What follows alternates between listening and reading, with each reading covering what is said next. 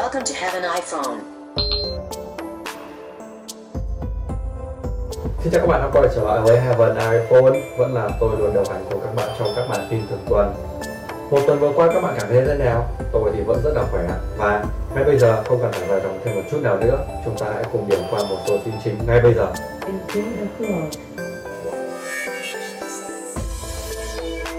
Tin đầu tiên là mừng sinh nhật Heaven iPhone tròn 3 tuổi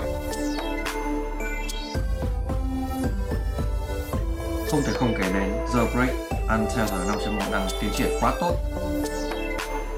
Tin thứ ba 63 người dùng muốn có 2G phát hành ngay tool The Break Untether 5.1 iPhone 5 và Samsung Galaxy S3 đậu tải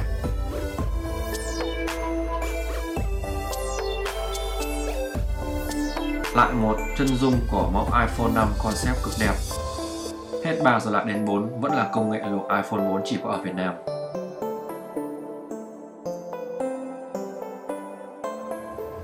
Ngay sau đây sẽ là phần tin chi tiết.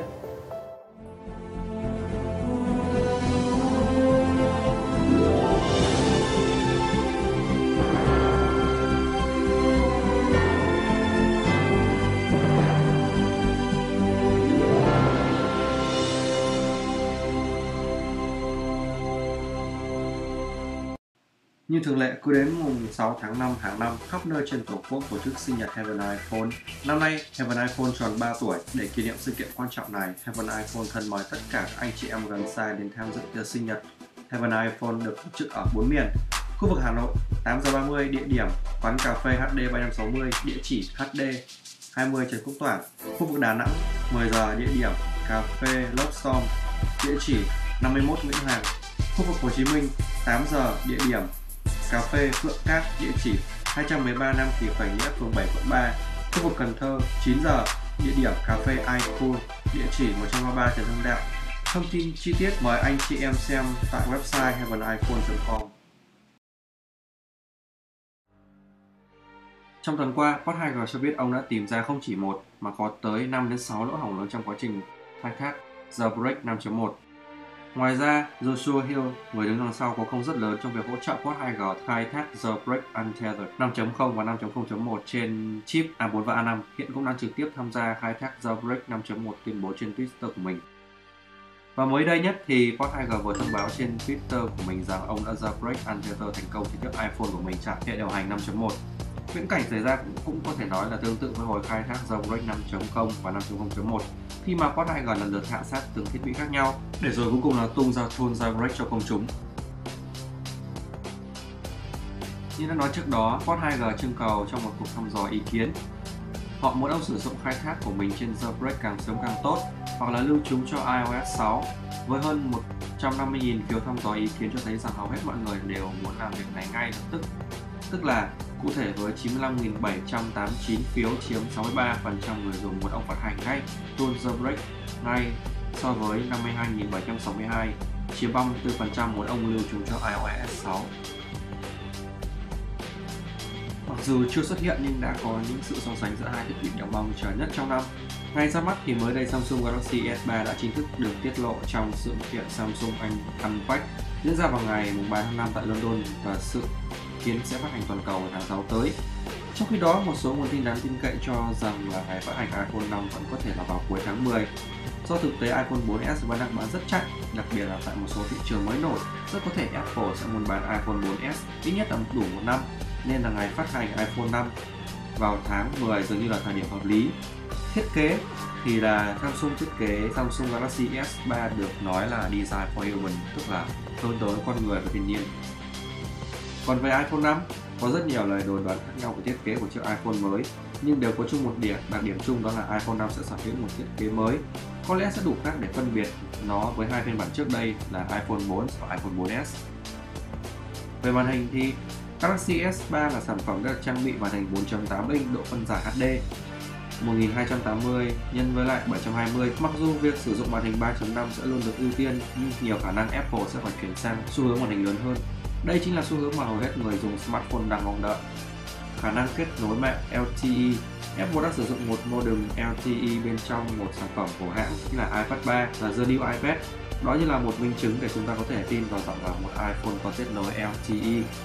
Về phần Galaxy S3 thì một số báo cáo không chính thức cho biết rằng là Samsung Galaxy S3 CS xuất hiện trong hai biến thể, một là không có modem LTE và một với một chip Snapdragon S4 tích hợp LTE. Bộ vi xử lý GPU thì Apple sẽ trang bị cho iPhone 5 chip A5X tương ứng với i chip sử dụng bên trong iPad thế hệ thứ ba.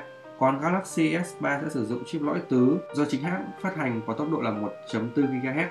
Ngoài ra, một số kết quả thử nghiệm bị dò dỉ cho biết rằng S3 sẽ có Womanly 400 của Samsung cung cấp hiệu suất làm việc tốt nhất trong với tương tỷ lệ điện năng tiêu thụ. Với hệ điều hành thì Samsung Galaxy S3 sẽ được chạy trên hệ điều hành Android mới nhất là Android 4.0 Ice Cream Sandwich, trong khi iPhone 5 của Apple dự kiến sẽ chạy lên hệ điều hành iOS 6.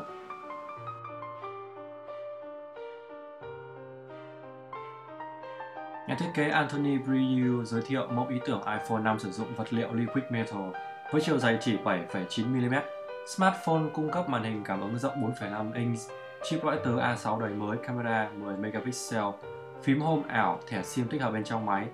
Bên cạnh đó, iPhone 5 mang đến thiết kế bóng bẩy và khá vuông vức, các nút bấm bên cạnh máy đầy đủ ra ngoài, jack cắm tai nghe chuẩn 3.5 và jack kết nối 30.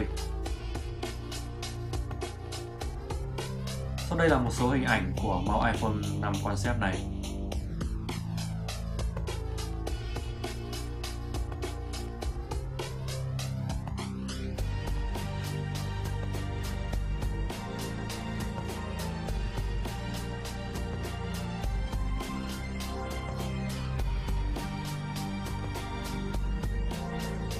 Trước đây đã đưa tin thì iPhone 3 S cũng đã bị luộc ở Việt Nam và lần này là tiếp theo sẽ là iPhone 4. iPhone 4 sau khi được làm mới sẽ có hộp bao nylon bọc kín bên ngoài không có gì hạn được xuất xứ từ nhà máy. Tùy theo tình trạng mà iPhone 4 hoặc iPhone 4S có thể nấu như thế nào. Thì dưới đây là một số quy trình hoàn chỉnh là một chiếc iPhone 4. Thì đầu tiên chiếc iPhone 4 cũ sẽ được tháo rời để chuẩn bị làm mới. Đây là ba linh kiện mới sẽ dùng để thay vào máy cũ gồm màn hình cảm ứng, khung sườn và nắp lưng. Ngoài ra còn có các, các phím âm thanh như là phím nguồn. Tổng cộng bộ vỏ này có giá bắn xỉ là khoảng 1,2 triệu 200 ngàn đồng. Từ khung sườn máy mới người thợ sẽ lắp ráp lần lượt các linh kiện từ máy cũ qua. Khung sườn được lắp ráp tương đối hoàn chỉnh thì sau đó sẽ là gắn nắp lưng mới vào.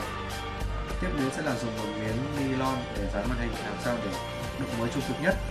Vậy là một chiếc iPhone 4 đã được lột sắt hoàn toàn mới sau đó sẽ được máy bỏ hộp, bỏ vào hộp với đầy đủ phụ kiện. Mỗi bộ hộp như trên có giá bán xỉ là 500 ngàn đồng, bao gồm hộp và phụ kiện loại tốt. Bộ hộp rẻ hơn có giá khoảng 200 ngàn đồng. Máy, hộp máy sẽ được bỏ vào bao nylon để được chuẩn bị đóng ni lông hay được gọi là đóng ship tiến hành đóng ship bằng máy. Tuy công phu như thế, nhưng những người mua có chức năng hiểu vẫn có thể kiểm tra bằng hai cách. Thứ nhất, nhiều iphone được đấu dạng này một số in IM EI của máy, vỏ hộp không trùng nhau thứ hai là đa số máy nấu đều đã active, tức là kích hoạt trước đó. Máy đã active trước, có nghĩa là người dùng sau khi khui máy ra khỏi hộp gắn sim vào là được dùng được ngay. Rất nhiều iPhone 4 mới bán trên thị trường điều này đều đã dính một trong hai trường hợp trên, tức là mua máy nấu, nhưng không nhiều người mua biết được điều này. Link kiểm tra và máy đã có sẵn trên trang chủ Heaven iPhone.